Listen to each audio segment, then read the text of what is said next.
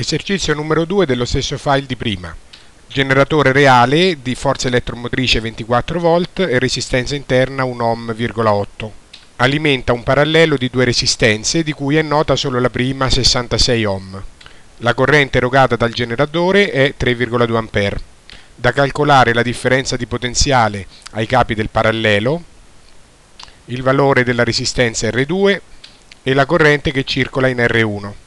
Per prima cosa schematizziamo il parallelo delle due resistenze come un'unica resistenza equivalente chiamata R parallelo. Questa resistenza è equivalente eh, nel senso che sostituendola alle due resistenze vere non altera la corrente che passa nel circuito, cioè il generatore continuerà a erogare sempre 3,2 A e non altera neanche quindi la differenza di potenziale ai capi del parallelo.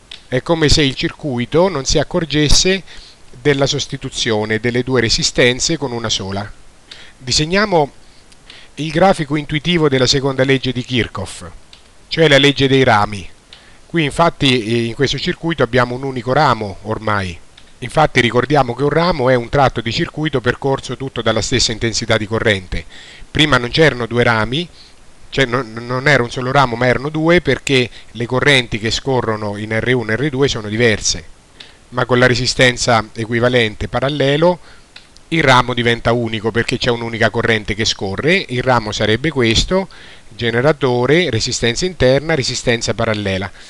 Eccole qua tre, i tre elementi. Quindi percorrendo questo, questo unico ramo, una maglia in senso orario il senso della corrente incontriamo prima il generatore che innalza la tensione fino a 24 volt da 0 a 24 poi incontriamo una prima caduta di tensione ai capi della resistenza interna e una seconda caduta di tensione ai capi della resistenza parallela il generatore è l'elemento attivo del circuito, un po' come uno sciatore che va su in montagna con uno ski lift e viene portato ad alta quota. Le resistenze sono gli elementi passivi o dissipativi e corrispondono alle discese dello sciatore. Queste discese sono le cadute di tensione che valgono delta VR e delta V parallelo, si calcolano con la legge di Ohm, R, R piccola I, R parallelo I.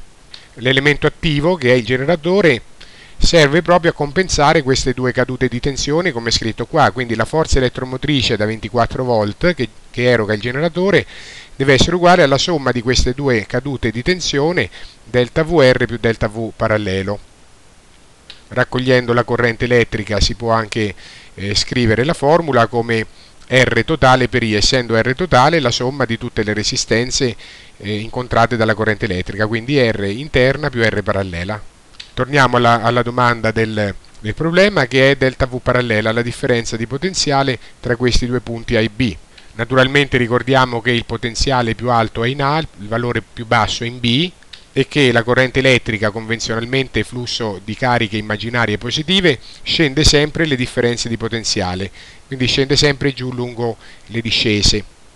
Perciò la differenza di potenziale è VA meno VB, A potenziale maggiore, B potenziale minore, differenza di potenziale e come si vede anche da qua o anche dall'altro disegno questa differenza di potenziale è data da 24 volt cioè F meno la caduta ai capi della resistenza interna. Si vede anche da qua perché delta V parallelo è, la seconda caduta di tensione sulla R parallelo e è data da F questa salita di tensione meno la caduta sulla resistenza interna. Quindi F meno RI come scritto qui basta sostituire i numeri poiché conosciamo la forza elettromotrice, la resistenza interna del generatore e la corrente e troviamo 18,2 volt questa caduta di tensione ai capi della resistenza parallela.